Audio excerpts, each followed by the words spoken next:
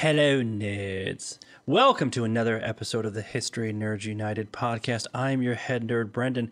Thank you so much for being here. Today, we have a special episode of the podcast. We have Dr. James Kirby Martin to talk about his book, Surviving Dresden. The reason why this is a special episode is because it is historical fiction. I don't normally read historical fiction, but I made an exception for Jim. He's been fantastic to me since I started History Nerds United, giving us plenty of content, plenty of leads on other authors. And when he said, I wrote my first fiction book, will you talk about it? I said, absolutely. Goes through why he decided to dip into historical fiction, a little bit about how he got there, how he decided to come up with his characters, and how to balance out the history with the fiction. Listen, I am a tough critic when it comes to anything that has to do with fiction, especially in book form, but Jim knows what he's doing. I really like the book. And now let's go talk about it. I'm going to shut up. Let's talk with Dr. James Kirby Martin. All right. Welcome to the podcast, Dr. James Kirby Martin. Jim, thanks for being here. Well, thank you in, uh, in turn, Brendan. It's certainly my pleasure and uh, looking forward to our conversation. And we're doing it a little backwards, right? Because you and I have already talked a couple times. Uh, you're a scholar on Benedict Arnold, and that's something that we've already recorded and people will hear later. But first up, we're actually here to talk to you about Surviving Dresden, which is your first novel. All right, you've done a lot of writing, and this is your first novel. What made you decide, hey, it's time to jump into fiction? Well, there are various factors that uh, came into play.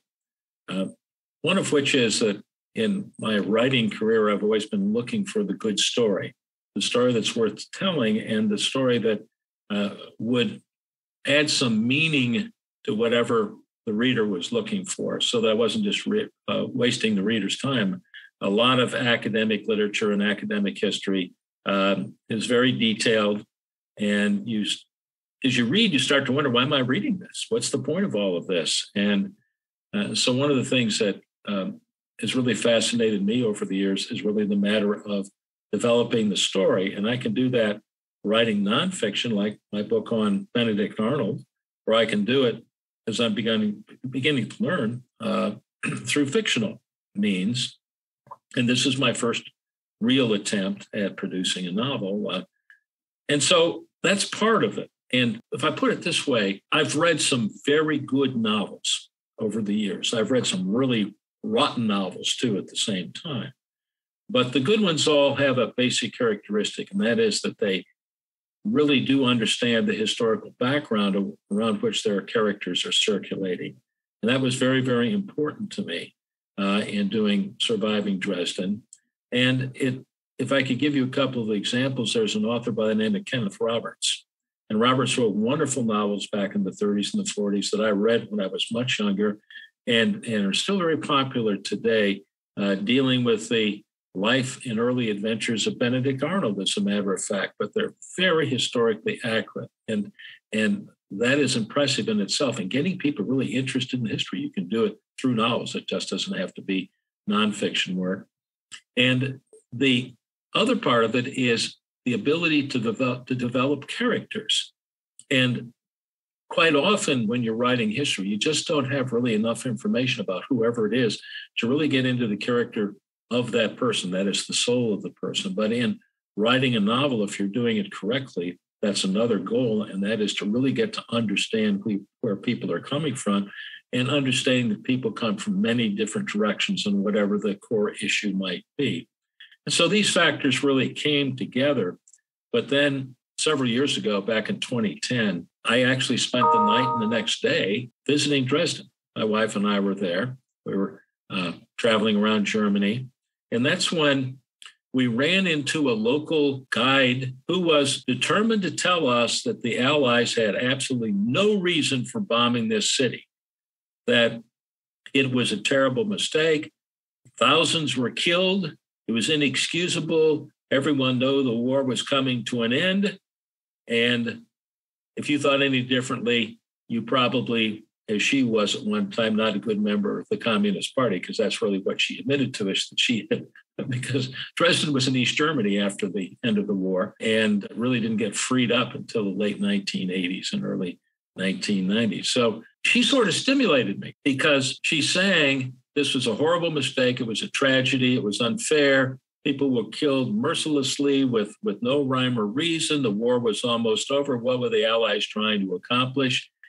And so I just put myself on a reading program for the next two or three years where I would select this book or I'd select that book and try to, first of all, learn much more about Dresden, its role in the Second World War, why it became a military target, at least for a brief period, although some think it should have never been a military target, and I'll, I'll readily admit that, and why the Allies, in the end, after much hemming and hawing, and ultimately with the agreement of Russian leaders like Joseph Stalin, decided to go ahead and bomb the place into oblivion because that would actually help Stalin in his eastward advance into Germany. So that's how I got started. Really, it was just a person who said, "Man, this was this was a terrible thing to do." And really, when you look at it uh, from a military perspective, the war isn't over. It's a long way from being over. People are being killed all over the place. And really, one of the questions then that comes up is how do you stop the killing when the killing won't stop? So these are the th- kind of things, and in combination with my, my, background in military history, that sort of came together uh, in the production of this kind of a story. And now you didn't write this solo; you wrote this with Robert Burris. How how, how does that come together? And then also, a lot of times you'll see two authors' names on a book. Like, how does that work? You, he helps you out with certain things, or you're kind of writing in concert, or you write a little bit, send it to him, and he kind of gives you feedback. How does that all work? Well, in our case, uh, Bob and I hooked up again around that time in 29 and 2010, and we were working on a different project that was tied into a book that I did on the Oneida Indians in the American Revolution, co authored with another historian, as a matter of fact. And this book did very well in the marketplace. And I asked a friend of mine who was a sometime scriptwriter whether he might be interested in telling the Oneida story of that particular Indian nation in, in upstate New York and telling the story in uh, the form of some sort of a television documentary or movie. Well, Bob is a professional scriptwriter. That's what he does. And through a series of fortuitous circumstances, we met, we agreed. He has uh, very keen understanding of history and uh, historical issues. He doesn't jump to conclusions and he doesn't have an agenda where he's trying to prove this or that or whatever else it might be. So we did write and almost made a movie uh, about the Oneida experience in the American Revolution. Well, the project fell through. We don't want to go into that. But Bob and I kept working together. And one of the things that happened then, uh, two or three years after that, that's saying around 2013, 2014, uh, into 2015, uh, I approached Bob about, well, why don't we do a, a, movie script about the bombing of Dresden? And so he and I agreed. We worked out a we worked out a deal whereby I would feed him the material, the historical material. He would then take what I'm not really do it if I wanted to, but he really is proficient at it, and that is to turn it into script-like language you know, with with the scenes broken down and just like you'd find in any kind of a movie situation. And we completed a script on Dresden and the bombing of Dresden. Uh, and most of the characters in the book had some part in that. And we circulated it, got some mild interest as one can get, but couldn't get that firm bite. And then we got together. What should we do? And then we changed the focus. Uh, and that is, we went from a main character uh, that I appears very briefly in, in the book, but uh, we downgraded him and we upgraded the character Gisela Kaufman, um, the half Jewish woman, and turned her into one of the major focal points of the book, and that is trying to get at the experiences of people, and in this case, a woman who's trapped um, in Dresden, uh, half Jewish in background, has not been hauled off to the camps yet because uh, her parentage her father protects her because he is uh, not Jewish, and so on and so forth. So we we began to explore her and make her more central. And we also upgraded uh, our English pilot Wallace Campbell, and really tried to develop him much more fully than was in the original script. And then the good news was we found a producer. That's good. However, we also found COVID at the same time. Didn't so, we all? so you talk about an instant shutdown, and suddenly we're just with this script. Uh, the producer, he, he, you know, Hollywood just started to go well. well, we all did, I suppose, go crazy. And uh, so I suggested to Bob, I said, well, have the script. Why don't we do this? Why don't we turn it around and to write a novelized version based on the script? And that's actually what we did in a relatively short period of time because the script really does outline things. It's, it's an outline for what will become uh, become the book. Uh, and then uh, the way we did it, I would feed Bob material. Bob would do a draft. Bob sends it to me. I redraft the draft, and I send it to Bob. And three or four times we go back and forth, back and forth, back and forth, uh, not always agreeing on uh, everything, uh, but having enough consensus in the end that we produced uh, the, the, book manuscript. And then in turn, we were able to find uh, a publisher for it. So that's really the background. We work well together, and we've we've actually done three movie scripts. The one one being Dresden, the one on the Oneida Indians. We actually did a third one on George Washington and the Newburgh Conspiracy when Washington uh, confronts the army in 1783 and says, "No, I'm not going to become your dictator. That would destroy the whole of everything that we've been working for and trying to create a free and independent republic." Uh, and we have other projects like that lined up, and uh, those are kind of in the beginning stages, so I don't really want to talk about them too soon. So that's really what it is. It's a collaboration. That's the best way to describe it. And sometimes collaborations work, and this one worked very well. Uh, and I think we produced, and of course, I'm a little biased. I think we produced a very good book that all sorts of features about real issues and real problems and real people who are set in a very, very difficult situation where they don't know what we know and the reader knows. They're going to get bombed and one of them is a bomber and the other one is being bombed. And so that helps build the suspense of the story in terms of how things are going to work out in the end with some, I think, important and informative surprises along the way. It does help that each chapter lets you know just how far out from the bombing it is. But th- that's an interesting question that I have as I'm reading the book is you have real historical figures in there. This is not completely fiction.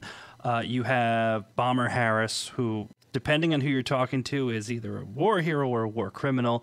And uh, even Uncle Adolf makes his appearance for a short and very uncomfortable scene. But when you're writing stuff like that, how, how do you decide where the historical figure comes in and then how they interact with their environment, right? There are certain liberties you had to take to understand what was happening in the room, and you're taking some things and some people that really exist, but then adding some fiction around them how do you make those decisions where, hey, I'm going to take some liberties over here, but I want to stick to the history over here? Well, the first goal is to make the history as accurate as possible. And to do that, you do have to include Adolf Hitler. You do have to include one of my, I think, most interesting characters because he's everything evil from my point of view, a man by the name of Martin Mutschmann who was the Gauleiter, or he was the regional leader of the Nazi party. He was really in charge of the province of Saxony, where Dresden is located. And he was a power hungry megalomaniac who could care less about people. Uh, and so he, we're, we're, dealing with trying to get these kinds of real characters, and then we're, we're weaving our own fictional characters in and among them. But the fictional characters help tell the story and help make it clear what is going on. And that is, this is a long term, if I can put it this way, death march for the world. When we start at the beginning, we have one killing, and that is the so called suicide of Hitler's half niece, Jelly Raubal. I think I don't know whether to say it's Gelly or Jelly, but it's Raubal. Uh, and that is, she is related to Hitler and is living with Hitler, beautiful young woman. Hitler dominates her. I mean, she really becomes a metaphor for what's going on in Hitler's life. He has to control everything and he has to control her. And ultimately, she wants to gain her freedom. And ultimately, they struggle. By the official record, she obviously committed suicide, but by the unofficial record, there's lots and lots of evidence that he probably killed her because he tried to control her. And Jim, I'll say this too. I read that part of it and I thought, oh man, Jim, Jim's really lost it. Like, this is sick. What do we need? And then I went, wait a second. And, you know, I did what I always do, even though uh, a lot of people would yell at me. I jumped on Wikipedia just to double check and I went, oh, God, I already hated Hitler, but he gets grosser the more you learn about him. Isn't that the truth? I hate to say that. That's the truth.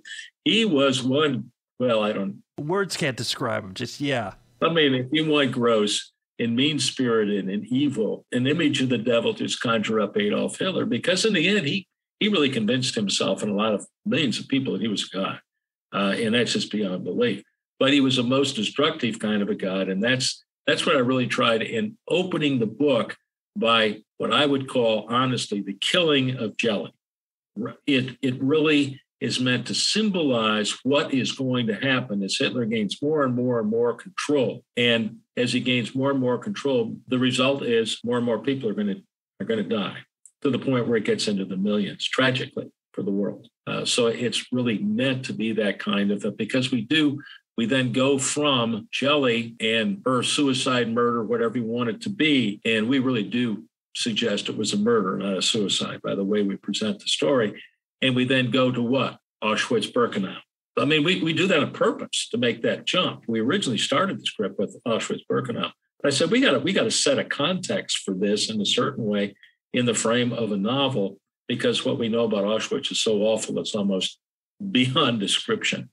And then we would introduce in another news story, we would introduce various uh, of our important characters. Uh, most importantly, Winston Churchill, because we're not telling you where he is, but he's actually at Yalta, the Yalta conference being so important to this story. And so there's a reason for this. But in that, in those news stories, there's a weave of fiction with fact. For instance, in the uh, news story about Churchill, there's a fellow who is being interviewed by the press I made it all up. it was some high level. I used his name. I can't remember it right now in the British cabinet. And he's sort of hinting around because saying, well, what is what is Churchill really up to and that sort of thing. And he's one day had this little inspiration and Bob thought it was okay. Uh, and so that's the thing when you write a novel. It's accurate what he is saying, but we don't have any idea what he may have said or whether he even had that particular interview. But it's also part of the storytelling process to feed the reader more information to help to keep developing the story. And our two main characters, uh, Gisela on the ground and Wallace the pilot in the air, are slowly going to come together, but then don't actually, it's not that kind of a love story. There's a different kind of a love story that's going on uh, involving this Wehrmacht soldier, Albert, uh, and uh, he has some affection for Gisela, and that will play itself out. And I'm not going to give away the ending of what happens there because I still want people to read the book. But the juxtaposition of the person on the ground is the main focus on the ground, and the pilot in the air who has acquired all sorts of doubts about what he is doing. He's like a conscience she is trying to survive and survival is not so much his issue but the moral dilemma of why do we keep killing people? Because that doesn't bring an end to the war. And that's something that he tries desperately to work out in the end as we try to put the story together somewhat successfully so. Did you originally plan to kind of have that two prong narrative where you have Captain Campbell in the air and you have Gisela on the ground? Or was it about you wanting to make sure that you gave a full overview of what was going on right? To have somebody on the ground and have somebody in the air so you're capturing both points of view? Or was it purely story for you that just kind of grew out of it? No it really really was in the uh, first script that i described earlier. Didn't go into detail about it. Uh, our main character was actually an american pilot uh, of jewish background and he's blown out of the sky and he survives and he ends up in Dresden. And we didn't appreciate a couple of things, one of which we may have been getting a little bit too close to uh, uh, the Vonnegut novel, which uh, Slaughterhouse Five is what I'm referring to, which is really a weird fantasy story in many ways, where the, the pilgrim ends up in outer space at the end. We were not interested in that. We were interested in realism. Yeah, no spoilers, but nobody ends up in space afterwards. That's right. Okay. And then we found out that there was a German production. We did not know this when we started this, a German production that appeared on American TV one time on the History Channel, a miniseries of uh, maybe three episodes uh, about Dresden. And they had conjured up an English character who ended up crashing and being on the ground. So when we were initially trying to vet that script, what happened was we started to run into this. Were you aware of this? And the answer is no, we weren't. Well, your story's a little bit too close. Well, why would anybody want to produce that? And it's not that close, but it just feels that way, I guess I should say. So we backed off of that. And then after some thought, we decided to go in an entirely different direction with the basic internal story. That's the best way for me to describe it. And so Gisela moves up, becomes more important to the story on the ground, and then those around her. She's not the only character on the ground, but she's in play with a series of characters on the ground, including Albert and Albert's family, the Schmidt family, and uh, we wanted I wanted the Schmidt family and the father to be. Uh, we never even gave you his first name, just Mr. Schmidt through the whole thing because he's a grocer, and they're running out of food, and he has enough humanity in him that he tries to help the starving Jews, basically. So he becomes like a symbol of the decent German. So characters have different purposes without our saying this character has this purpose.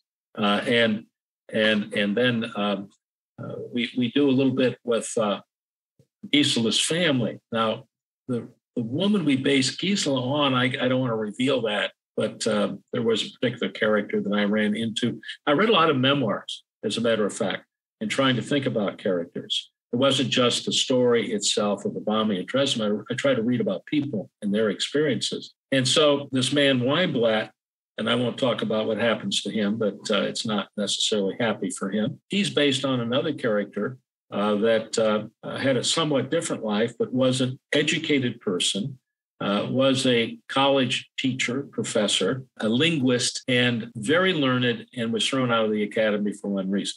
And that was he was Jewish. Uh, and then he has much of his property taken away from him. Now, with Wallace, I read a memoir. I can't even remember which one it was because I read, I don't know, Lots of them. They're out there. They're thick and fast that people want to be interested. And some of them are fascinating and very, very interesting with what, what people went through. And there was this one uh, British pilot.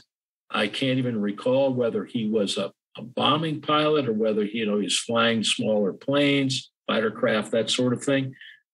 But he argued that the war should have ended in 1943 because our leadership, that is, would be Churchill and uh, uh, Stalin. We can throw Stalin in in this situation, and Roosevelt, and Roosevelt does put in an appearance too in this book, Franklin Roosevelt, uh, that they should have just sat down and negotiated with Hitler.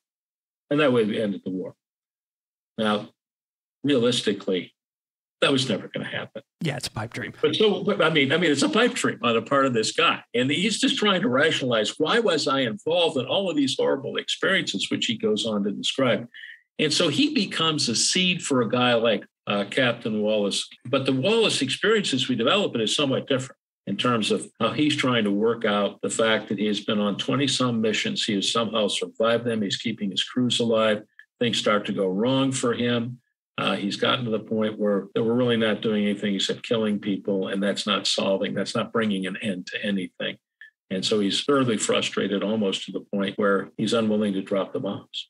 It is interesting his arc that you give him, where, again, without giving away how it turns up, it, you're inching him towards conscientious objector, right? And what I do like That's about right. that is it would be very easy to do the Hollywood thing of even as I was reading it, I'm like, oh, I think I know where this is going. but you didn't. Nope, it doesn't. No, it doesn't. No, Hollywood, that might be a problem, Jim. They're going to try and change that before the movie comes out. Okay, we'll think about it. It's very interesting. He's not someone who you know started out as a conscientious objector and this is something he's always believed in his whole life you inch him that way and it seems to be that's you actually kind of working out yourself what you were talking about that started this whole thing, which is was it okay to bomb Dresden? Does it make sense from you know a humanity perspective, from a military perspective, and things of that nature? And he's Gisela is kind of that Hollywood strong female character has got to do what she's got to do, and he's the thinker side of things where it's working out that existential question so to speak. Absolutely. This from my point of view is one of the great advantages of doing fiction because we can take these people any way we want to. And i think in those two instances as major characters i think we did a good job of developing them so they weren't in so many fiction works i've read you don't get to know the people it's just it's amazing to me i just try, started a novel i won't talk with much detail about it And suddenly, 20 pages in, I'm confronted with 15, 20 characters. I don't know who they are. I don't know how they belong to each other. I don't know what it's all about. I don't know anything about them. That's not a comfortable read. Well, what did I do? I stopped reading. That being said, did you, you know, take a few liberties as an author and you're writing fiction? You decide to drop anybody in here or there just for fun? I actually already know the answer to this, but I want the public to know too. Well, yes, and because it was fun thinking about the counterweight to a person like Gisela, who's a very hardworking, profound, decent human being who's being abused because she's Jewish, basically. And that I thought about this then, we should have a counterweight. And this gets to one of the real characters, a man by the name of Martin Mutschmann. Mutschmann is the regional Gauleiter word that they would use. That is, he is the strong boss of the Nazi party in the province of Saxony. He's number one and he's a mean soul. And he likes being Gauleiter. Uh, he's proud of it and he's kind of an idiot, basically. And by the way, the Russians finally do him in, but I, that's in the book too. And that's actually true. But what explains the Russian Russians said they had enough of them in 1947 and hanged him. So that's true. The Russians had a, enough of a lot of people, a lot. you took out a real loser. But I wanted to get a character and find a character sort of counterbalancing Gisela. And I came up with a woman by the name of Inga. Young, beautiful, has no idea what's going on, but is fascinated with Mutschmann, not because he's attractive, but because he has power. And she's attracted to that power. And then we have this party scene. Now, the party scene, there was something going on that evening. Fasching, this, this holiday is going on in the background. That part of it's true. But whether that particular party took place or whether those people said the particular things they did, I can't tell you. That's part of the novelization of the story. But she sort of latches onto this guy. And it's kind of embarrassing to him because he's sort of flattered that this really attractive woman who doesn't have any idea she's lost her husband and she's drunk, you know, and all that kind of stuff. And so I really wanted to develop her to show there are just people out there. Here we are in the midst of this horrible war. People are dying all over the place. Bombs are on the on the edge of being dropped, and she doesn't even know what's going on. I mean, it's just like thank God people like that don't exist anymore. Well, that's right. I mean, leave it leave it to me to make up that kind of a character, right? Uh, where we know there are tons and tons of people have no idea what's going around them each and every day. But she is that kind of a person, and I, that's part of the, I suppose, part of the fun of writing fiction because you can do things like that. Hopefully, I didn't offend anyone, that, that's that's that's part of the spirit of the story, if I can put it that way. Absolutely, and I think you can't be called a hypocrite on this because you have Gisela, who's the strongest person in the book. Period. Done. Right. And you're talking about having her mirror image, Inga, right? But for Wallace, Captain Campbell, he has a real life counterpoint that you have in the book, which is Bomber Harris, right? He's somebody who did exist. Right. And you have Wallace who is starting to think about, hey, is this the right thing to do? Are we doing what's right? Whereas Bomber Harris is known historically as being extremely divisive because his idea was bomb the hell out of everyone will ask questions later. Right. And I think that is the perfect balance, right? Gisela needs to have her mirror image as well, especially when Wallace has his. Well, and uh, with Bomber Harris, and actually with a lot of the thinkers and the planners, the notion that we would use the bombing uh, to destroy their uh, will to keep fighting, their morale would be the word, I think would be the correct word. That is commonplace and that runs through the literature. That's very much the case with Bomber Harris. It's like, you bombed us, we're going to bomb you into oblivion. He's a pay you back kind of a guy. Uh, he's a very interesting character. He wrote a very interesting memoir after the war called Bomber Offensive, which I have consumed to get a feel for him. What's a little bit different is in the purpose of the writing, we simplify the whole background to the decision of bombing Dresden because we focus on the orders that do come. Uh, and actually, the Russians were approving them and so on and so forth and thought they were a good idea uh, that come from the Yalta Conference. The conference is really devoted to dividing up Europe once the war is over. We know we're going to eventually get there. They can't. The only debate is how long can they last. And part of the decision is we can speed up how long they can last. Even Eisenhower said if we can convince them by pounding them into the ground, there's no reason to keep going. That is a workable strategy. Now, he didn't necessarily approve the Dresden plan, but that plan actually uh, was called Operation Thunderclap, and it goes back into 1944. And interestingly enough, the Americans shelved it. They said, no, we don't want to do this. Then, when the to fill this in historically, and we just didn't want to get into this because it's, it's we get into the historical details sometimes.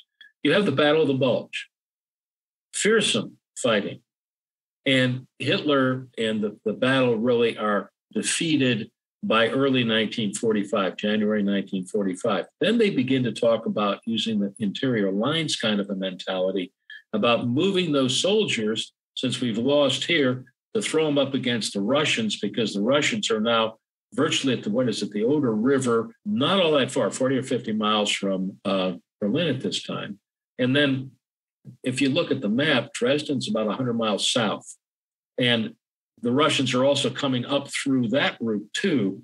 And the Germans are moving a lot of troops through the rail system through Dresden. And there are lots of German soldiers that get killed in the bombing, by the way. And so you go into all of that. But the, the fact of the matter is, it's it's interesting and fascinating detail for for the historian or for the person who really wants to understand the war. But all we did was we said, okay, Stalin liked the idea. The Americans and the uh, English liked the idea, with the hint, which was another factor, we can show Stalin how strong we are.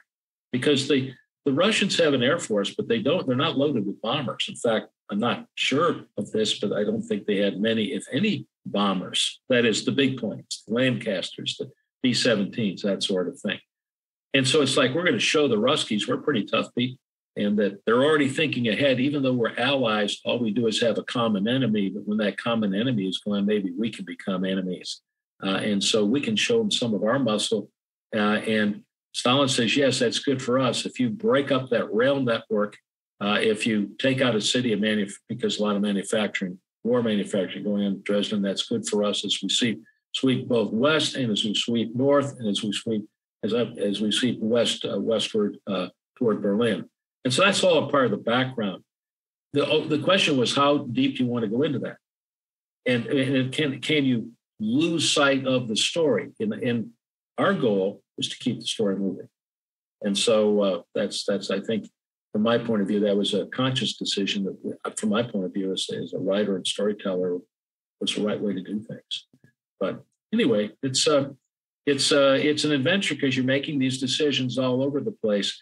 And I can tell you honestly, I could take this story and double it. Mike. I mean, you kept it uh, trim. Uh, this is 180 and, pages. You're in. You're out. Yeah, it's not. It's not meant to be. It's get in there, get the story, think about it, the meaning of it. That was the, that was the goal. But let's say someone would like to come along, and if you're available and you'd like to talk to me, please let me know. I'm talking about the person who'd like to develop a mini series. We can take all of this and we can expand it.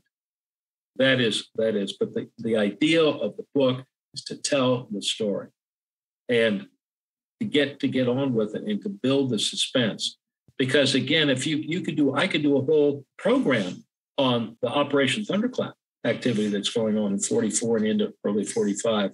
And we have uh, a face of Wallace Campbell. He's on a bombing run uh, to Berlin. And I mean, they're bombing Berlin to oblivion at this point in time, which is part of the thinking of, of the Thunderclap operation. So these things, these elements are there, and you can continue to develop the story and the characters if you choose to do that sort of thing. Well, let's just assume, Jim, because obviously we're going to put this out there and this is going to get made, right? Movie miniseries, I think there's two important questions left. Number one, let's do some dream casting, right? All right, we're gonna okay. we're putting this oh, out there. yeah, we're putting this out there. Who's Gisela? Who are we casting for Gisela? I'm gonna go first. Okay. I think it's Scarlett Johansson. I'm thinking of the movie Jojo Rabbit. Oh. She's already played a German. Yeah. And I think she can pull this off. What do you think? I think that's an excellent choice. The actress needs to be young and clearly, uh, as we described, because she is part German. She's also part, I guess, Aryan through her father. Uh, and she's more blonde and blue eyed. So she doesn't look like she is Jewish. She looks gaunt and wan and everything like that because she hadn't been eating well and clothes and, you know, shot and whatever else it might be. But Johansson would be excellent. And if she's available, I'm sure I'll, I'll be glad to, uh, talk to her anytime. Isn't that nice? Very nice of you to, to, take the time out of your busy day. I'm that kind of a kind guy, right? now we'll we'll do one more. Although I want to just add, I'm happily married. Okay, so I'm not looking for a date. We're talking about how talented she is. It's fine. All right, so Wallace. Yeah. The, the easiest answer would be okay, we need a British guy. Benedict Cumberbatch is in everything already anyway. So we know how we can do it. Right. Um, I'm trying to think if there's a dark horse candidate that I can come up with. But I, you know what? I could see Christian Bale pulling this one off. I think this is cerebral enough for him that he would love to get into this. Right. And uh, if I'm not mistaken, isn't he English in his background, or am I mixing up with someone else? He is. So he has no problem with a little bit of the accent and all that sort of thing. Uh, exactly. And I've seen these uh, various mini series, and there are various characters. Uh, there was a male lead on uh, Downton Abbey, and then they killed him off after two or three seasons. I can't remember the actor's name, but he was a very popular guy. I don't know whether you can come up with that for me. The guy that played Poldark, all right, uh, just to give you another example, dark, handsome, whatever, very, very British, manly. These are the kinds of people that would come to my mind off the top of my head. Dan Stevens. Well, we'll get Dan Stevens. I think he would love to do this. Okay. Again, if you can find time okay. in your schedule to talk to him, I think we can talk him into it. All right, I can probably squeeze, you know, five or 10 minute talk in. All right, I want to close out on probably the most important question I'm going to ask you this episode. Can I be in the movie? I'm not saying I should be Wallace. I think I can do a British accent. I'm not saying any Wallace, but even just, you know, a party goer, drunk guy in the background, give me a couple of lines. Just, I just want to be able to say I got my SAG card, is all I'm saying. Well, that would be a possibility, maybe somewhat remote for Wallace. But I have a couple of other parts you might be able to do, such as we have our uh, priest, the uh, the Anglican priest, who's trying to counsel Wallace about how much he's torn up by all of this, and uh, then we have um, another character, Colonel Burton, who is in charge of the meetings, that is the briefings. I think Colonel Burton appears at least twice, uh, and he's a he's a fictionalized character of the duty officer. We don't question orders kind of kind of person. Uh, so those parts are still available, so far as I know. I don't know if I can do the Anglican priest. My Irish Catholic mother would not be happy with me, even if I am acting. okay, well, you know, you can always try out. Beggars being choosers, right? and the the I've tried to figure out what my part would be in this, and it may be just walking through a seat or something like that, which I did, you know, with the Benedict Arnold. Jim, obviously you're Bomber Harris. Come on. I've been setting up this big reveal. You are Bomber Harris. I don't have enough of an accent. I'm not sure I could pull that one off. I have a lot of English in my background. It's sort of the dominant uh, from doing the various tests that we do. So I've got that very heavy English background, but somehow as my family's migrated across and developed uh, going back to the revolutionary time uh, we lost those accents along the way. But that doesn't mean uh, we can't find them. And i i will admit even though i live in texas i don't have much of a texas accent even though i've lived here for what almost 40 years so. Yeah i remember doing my ancestry test and it came back and it just said uh, you're irish stupid. There you go. Well the important thing is jim i'm going to have my people call your people. Okay. We're, we're going to get this figured out. Okay um, hopefully, we're going to film somewhere really nice that I haven't been before, and we're going to get this thing done. But in the time, in the meantime, everyone needs to read "Surviving Dresden." We're going to have links for it all over podcast page and everything else. And Jim, thank you so much for joining us. Certainly my pleasure. And I want to encourage people to get into a good story like this because there's a lot of meat there. And there's a lot of entertainment value and there's a lot to think about at the same time, especially the whole matter of how do you stop the killing and the killing won't stop.